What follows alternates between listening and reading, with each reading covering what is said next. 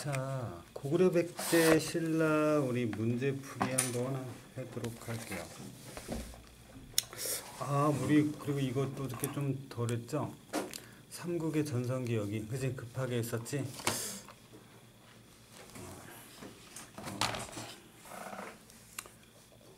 아니 다 읽었어요. 이거 보조단만 읽을게요.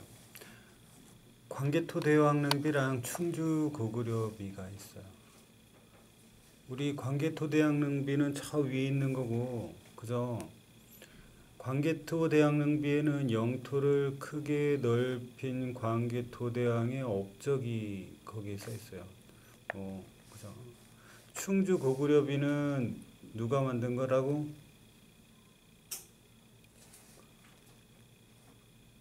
고구려가 한반도 중부 지역까지 세력을 넓힌 내용이 나 여기까지 내려왔다 찜 장수왕이 한 거예요. 그 내용이 있어요. 서울 북한산 신라 진흥왕 순수비 볼게요. 진흥왕이 한강 유역을 차지하고 생, 세, 세운 게 서울 북한산 신라 진흥왕 순수비예요. 지금은 어디 있다고? 국립중앙박물관에 있대요. 북한산에 있는 건 뭐예요? 모형이에요. 한강 유역 볼게요. 한반도의 중심에 위치한 한강 유역은 농업에 적합해요. 많은 인구와 물자가 모이는 곳에 있어요. 중국과 교류하기에도 유리해요. 전략적으로 매우 중요해요. 가야가 중앙 집권 국가로 성립하지 못한 것은 가야는 풍부한 철의 생산이에요. 또 해상 교통도 조용 좋아요. 그래서 낙랑과 외를 연결하는 중개 무역을 하며 경제적으로 성장했대요. 근데 가야의 각 작은 소국이 각 작은 나라들이지 그지? 독자적인 정치 기반을 유지했어. 다 왕이야 개나 소나 그지?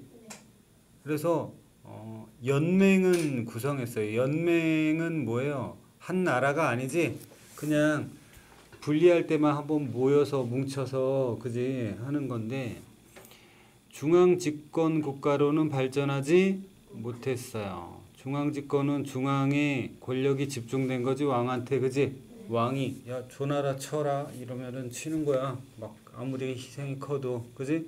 근데 가야는 그게 안 됐어. 그죠? 응? 자 문제 푸도록 푸도록 할게요. 고구려 백제 신라는 철로 무기를 만들었어요. 무기도 만들고요, 농기구도 만들었어요. 상, 삼국의 왕실은 왕권을 강화하기 위해. 불교를 적극적으로 받아들여서 백성한테 믿도록 했죠. 백제는 백제의 전성기 근초고와. 아.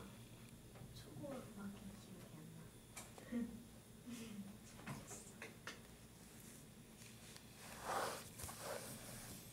고구려의 누구는 요동지방 대왕.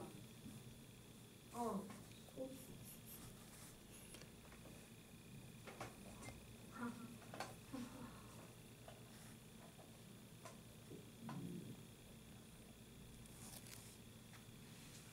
랴오강의. 동쪽이라고 그랬어요. 신라의 누구는. 아 읽을 때는 좀 얘기 좀 하지 마. 화랑도를 국가 조직으로 만들어 인재를 길러내고 한강 유역을 차지했어요. 한강 유역도 차지하고 또 화랑도를 국가 조직으로 만들었어요. 그 사람은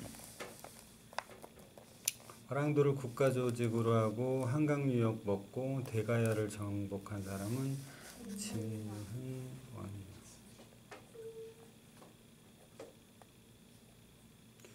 좀 글씨 좀 이쁘게 써라. 성의 없게 쓰지 마라. 제발 다들 다들 너손 받치고 받치고 항상.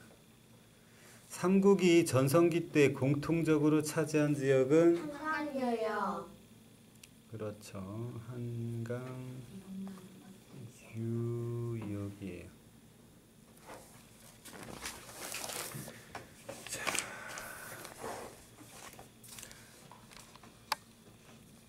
어, 고구려 백제 신라는 네모로 무기도 만들고 농기구를 만들었어요. 철이겠죠? 네. 철이에요. 철로 했어요.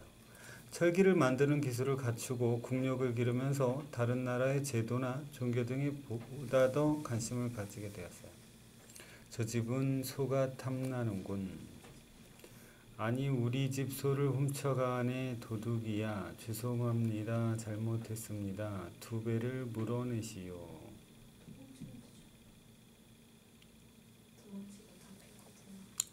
위 그림과 같이 적용된 범죄에 대한 처벌과 나라를 운영하는 제도에 관한 규정을 뭐라 그래요? 율법.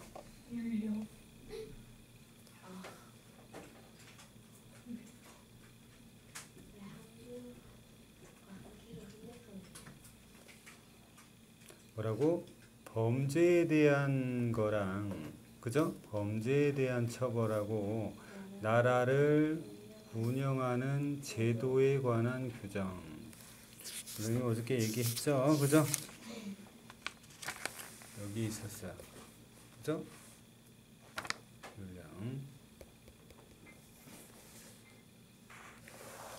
범죄에 대한 처벌과 나라를 운영하는 제도라고.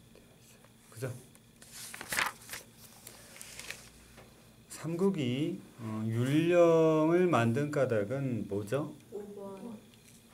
왕을 중심으로 나라를 원활하게 운영하기 위해서. 삼국 삼국 왕실이 불교를 적극적으로 받아, 받- 받아들인 까닭은 5번.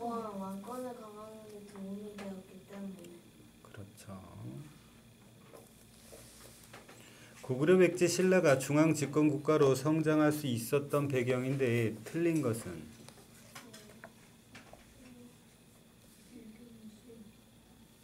그죠 유교를 수용한 거는 아니죠. 삼국이에요.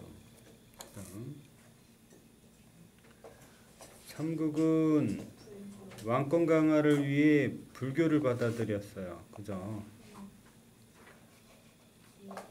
율령을 만드는 거, 세금 거둔 거, 제도 정비한 거, 뭐 이런 거. 아, 고구려가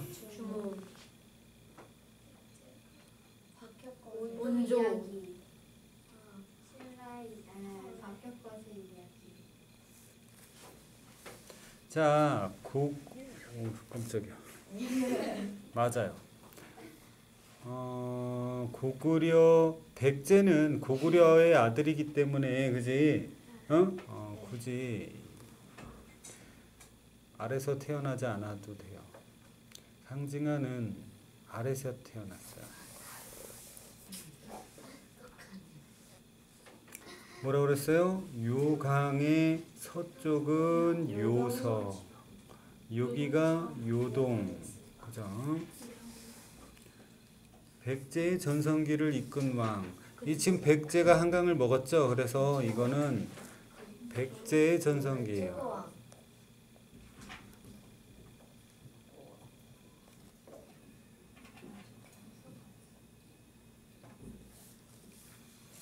자,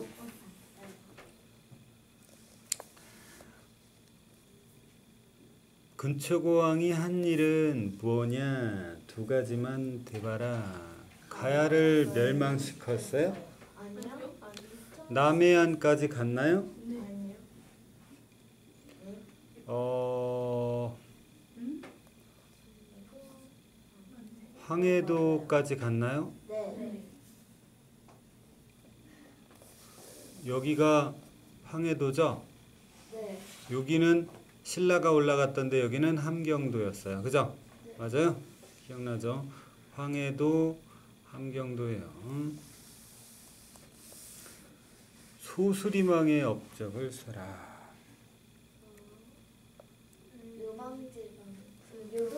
진출. 불교 봉인. 찍지 마세요. 찍지 마세요. 고구려의 소수리망은 불교를 받아들이고 율령을 반포했어요. 율령을 반포하고 불교를 공연했어요. 자, 고구려가 한강 먹었죠? 그죠? 고구려가 한강을 먹었어요. 그러면 뭐라고 쓰면 돼요? 고구려. 어느 나라라고 했어요. 자, 고급 도읍을 국내성에서 평양성으로 옮긴 왕이 누구니?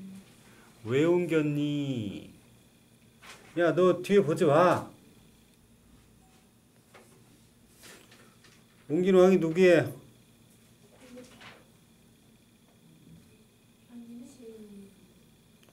장성.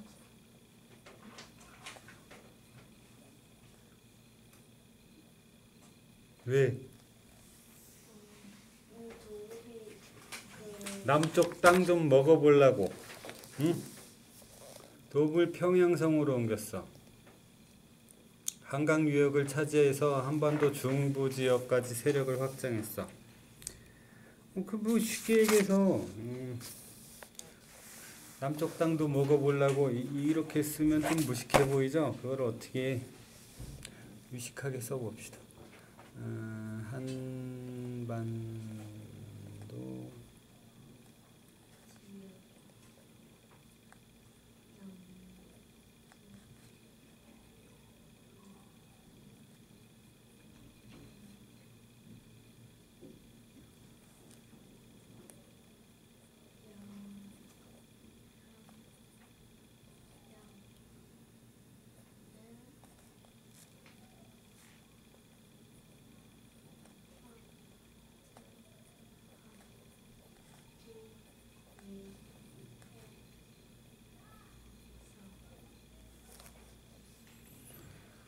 그죠? 남쪽 땅도 먹어보려고, 그지? 만만하니까, 응? 응, 그랬던 거였어요. 광개토 대왕릉 비에는 영토를 크게 넓힌 관계통이지만 영토 어디에는 고구려가 한반도 중부 지역까지 세력을 넓힌 거. 이거의 비의 이름이지 뭐죠? 본지.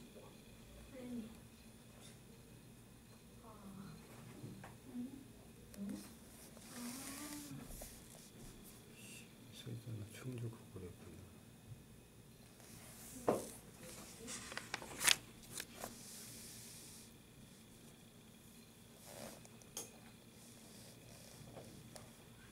어,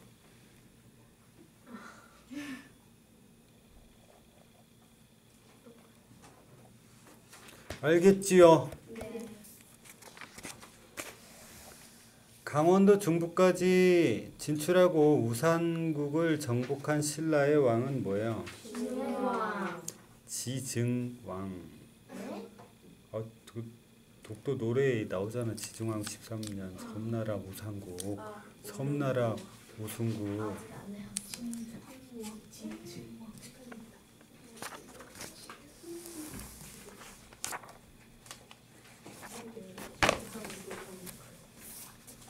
자, 신라가 여기가 무슨 도? 강원도. 조그맣게 그렇게 여기 황해도 여기는 함경도. 아. 아, 진짜 짜증난다. 신라의 전성기를 이끄는 진흥왕.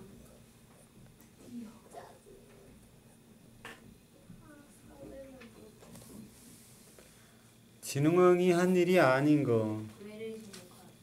주목하다. 대가야를 정복했고요. 그죠? 순수비를 만들었어요. 그 다음에 함경도까지 갔어요. 한강 유역 먹어서 중국과의 교통로 확보했어요. 어, 신라의 유능한 청소년을 모아 몸과 마음을 닦았어요. 진흥왕이 이 단체를 국가 조직으로 만들었어요.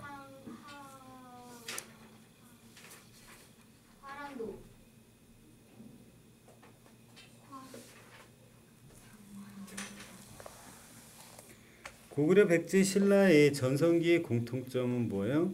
한강 유역을 차지하였 오, 똑똑한데요.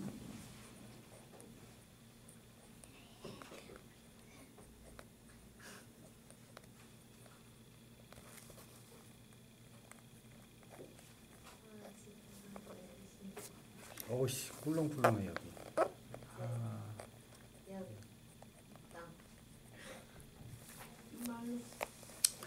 자 삼국이 한강 유역 차지하려고 했던 까닭 응? 알맞지 않은 것은 농사짓기 유리하죠. 네. 어, 지리적으로도 가운데 있으니까 좋죠. 전략적으로도 중요하죠. 교류하기- 교류하기 좋죠. 한강이 있어서 네. 어, 한강이 한반도 남쪽에 위치한 건 절대 아니에요. 아니지요. 가야인데요. 틀린 것은 뭘까요? 낙동강 유역에. 있죠. 철 있죠. 그죠? 고구려는 아니에요. 일본의 고대 문화 발전에 영향을 줬고요. 평야 지역이에요. 알았죠? 응? 네. 가야가 중앙 집권 국가로 성장하지 못한 까닭은 뭘까요? 어, 중 5번. 그죠? 작은 나라들이 힘을 하나로 모으지를 못했어요. 자,